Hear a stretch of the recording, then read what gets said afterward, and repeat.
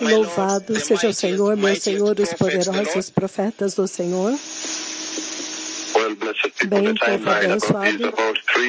A hora agora é por volta de 13, 14 da manhã.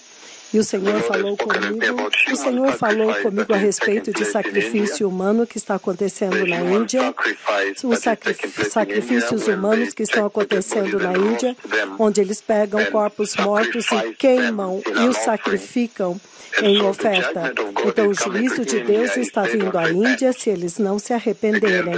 Novamente, o Deus Todo-Poderoso me levou à Índia. Ele me levou à Índia. O Senhor falou comigo a respeito de sacrifício humano que está acontecendo na Índia.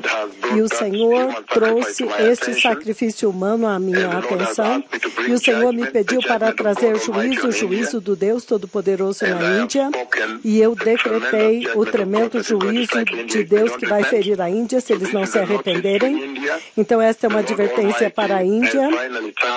O Deus Todo-Poderoso finalmente virou o rosto dos seus dois megaprofetas para a Índia. E o Senhor me mostrou o sacrifício humano que está acontecendo na Índia, onde eles pegam corpos mortos e eles queimam com madeira em um ato sacrificial. A ira de Deus está vindo a seu caminho agora que o Senhor chamou a minha atenção. E o Senhor me fez ficar de pé e apontar para a Índia com o meu dedo esquerdo profético.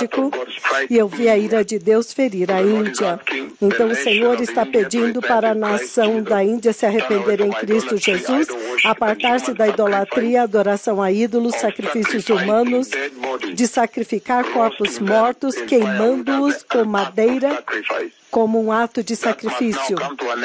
Isto agora tem que chegar ao fim, ou a ira de Deus vai ferir vocês.